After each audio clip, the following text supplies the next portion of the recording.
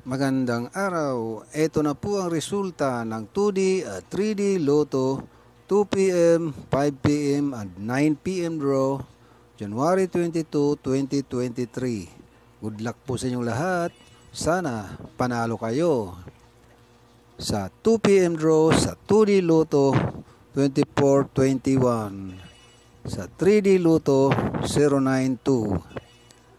Sa 5 p.m. draw sa 2D Lotto 261 sa 3D Lotto 303 at sa 9 p.m. draw sa 2D Lotto 32 at sa 3D Lotto 054 Congratulations po! Sana panalo kayo!